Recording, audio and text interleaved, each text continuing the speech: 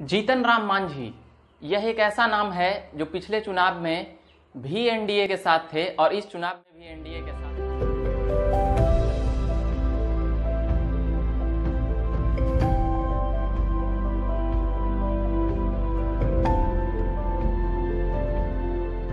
उनका कहना है कि हमारा एक सिद्धांत है चलने का, हम उसी पर चलने का प्रयास कर रहे हैं। अब यह कौन सी सिद्धांत की बात कर रहे हैं, जीतन राम मांझी जी? यह चुनाव दर, चुनाव जो उनका बदलाव है, यह लोगों को भी नहीं समझ में आ रहा है।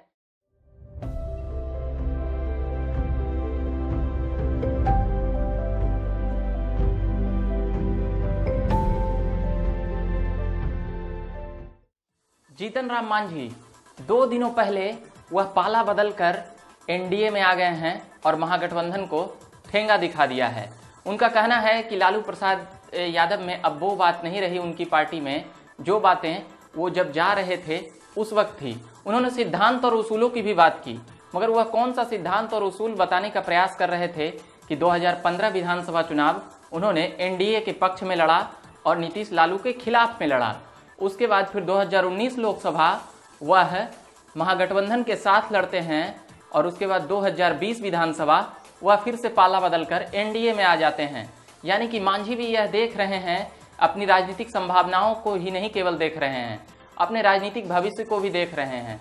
और उसके बाद जैसे ही वह एनडीए में आते हैं, चिराग पासवान का तल्ख तेवर पहले भी था, वह कई बयान देकर नीतीश कुमार को घेर चुके थे, उसके बाद और भी तल्ख हो जाते हैं, क्योंकि दलित वोट बैंक का बंटवारा अब इन्हीं दोनों में होना है। एनडीए में दो दलित बड़े चेहरे, एक चिराग पासवान और जीतन राम मांझी, उसके साथ नहीं आ सकते हैं, और दोनों का उसमें फिर जो कंपटीशन है वो बढ़ जाएगा। इस कारण भी चिराग पासवान कहीं ना कहीं अपनी नाराज़गी स्पष्टता से, मुखरता से और ज़ाहिर कर रहे हैं। आला कमान के समझाने के बाद कई खबरें यह भी है कि वह एनडीए में रहते हुए भी जदयू के खिलाफ कैंडिडेट उतारेंगे। अब देखना है कि उसमें क्या हो पाएगा या नहीं।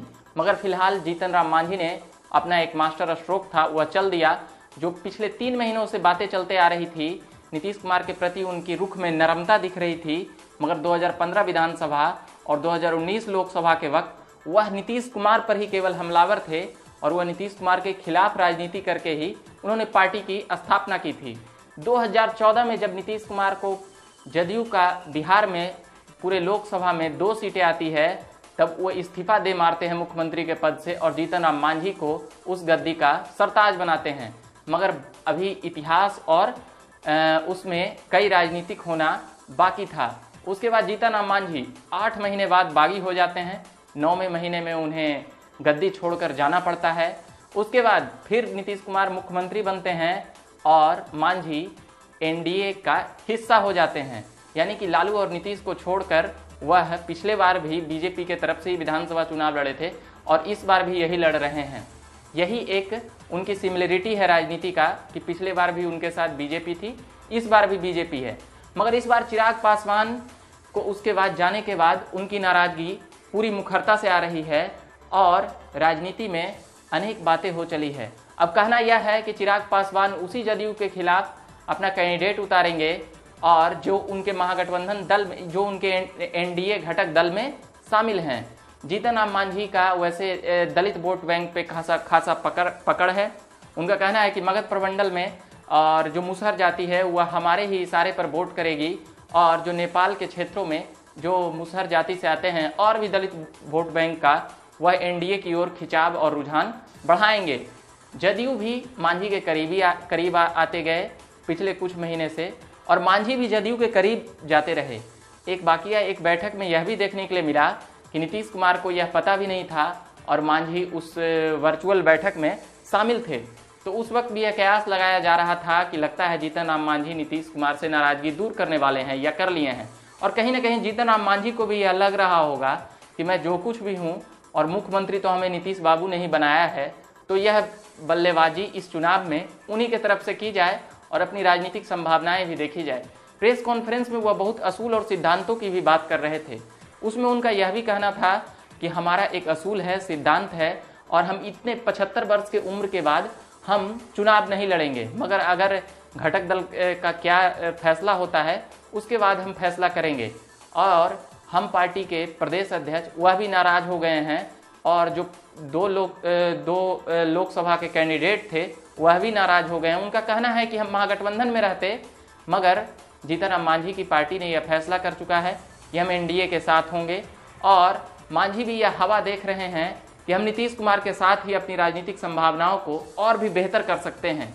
और साथ में बीजेपी तो है ही और बिहार में अगर कुछ ऐसा होता है तो वह एक प्रकार से अपने पुत्र के सवाल पर प्रेस कॉन्फ्रेंस में कहते हुए नज़र आते हैं कि वह आठवां, सातवां, आठवां पास नहीं है। यानी कि साफ़ तौर पर तेजस्वी को टारगेट कर रहे थे और जब वह महागठबंधन में थे, तब भी वह तेजस्वी पे टारगेट कर रहे थे कि एक कमेटी हो कांग्रेस के साथ, और वह मुख्यमंत्री के चेहरे का निर्णय करे तो मांझी के मन में भी यह था कि तेजस्वी से हम सीनियर हैं और एक बार मुख्यमंत्री रह चुके हैं तो शायद महागठबंधन हमें हमें भी मुख्यमंत्री का चेहरा बना दे, या हम भी मुख्यमंत्री का चेहरा बन जाएँ।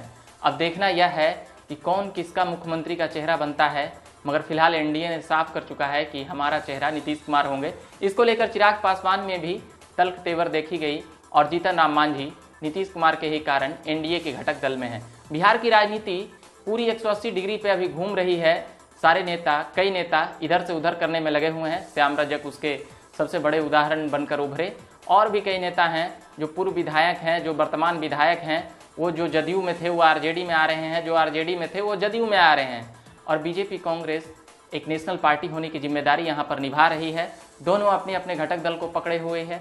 कांग्रेस भी अपने महागठबंधन में अपनी सीटों को लेकर ज़्यादा दावेदारी का दावा कर रही है कि एक तिहाई सीटों पर हमारी दावा होगी।